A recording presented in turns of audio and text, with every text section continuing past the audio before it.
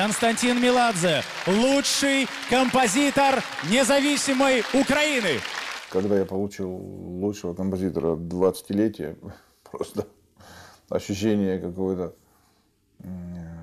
возраста и стажа работы вдруг меня как-то на меня нахлынуло все это. И очень-то я вспомнил все эти 20 лет, что я за эти 20 лет понаписывал.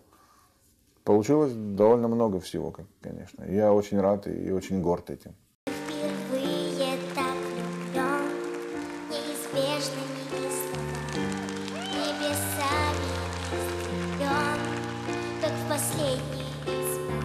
Это замечательная песня э, Влада Дар, Дарвина. И замечательно, конечно, исполнена Кенной Кароль.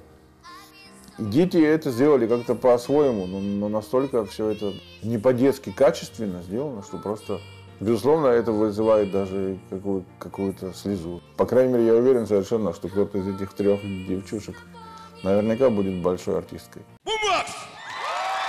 Юна, найкращий гурт 2012 це ми. Дякую. Юна на, на сегодняшний день это, пожалуй, единственная премия, которая, собственно говоря, а, объективно да, распределяет какие-то места между артистами и, и как- каким-то образом отслеживает их развитие, и это очень здорово.